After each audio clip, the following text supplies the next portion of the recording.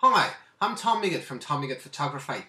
Last month I've organised the very first Tom Migot Photography contest and the theme was nothing but night photography. It's been a massive turnout I must admit with about 250 artists and roughly 800 different artworks.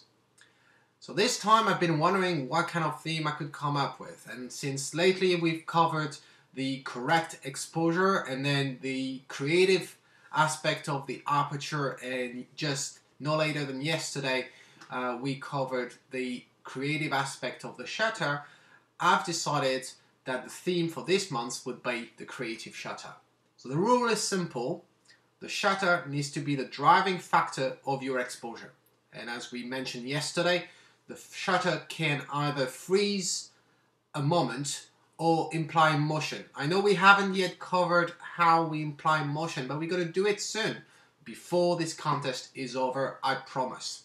So you have all the detail on my site, wherever I put it. Um, so this is the page where you have all the detail on how to join. It's open to everyone, and I'm not the one who's voting for the artwork. I'm not voting the three winners. I'm only creating the contest, it's open to the public and the public votes, so make as much noise as you can. Spread the word. Um, so there are, just like last time, about nine days, as you see, nine days are uh, remaining uh, for the artwork submission. And then after that, we will have three days for voting.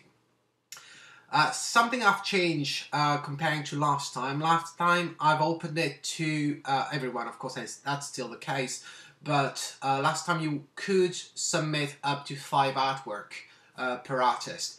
I've changed that simply because while a number like 800 artworks is brilliant, the side effect of it is that I've noticed that the public tend to go to the leaderboard and only vote for the artwork on the leaderboard already and discard the 30 or 35 pages of artworks and I find that a bit disappointing.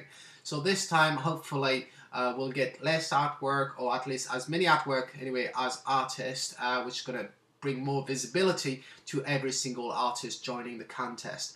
Um, just like last time for the three winners so the first position will be promoted on my YouTube channel and we'll do an interview like I've done in the series of Capture It with Tom's Friends. And I hope that the artist will be able to tell us and share with us uh, the whole approach behind his winning artwork.